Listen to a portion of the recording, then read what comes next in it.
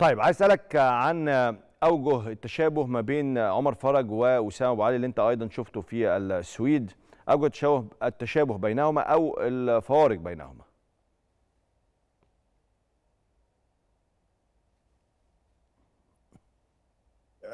They are a little bit different. Um, هم مختلفون قليلا.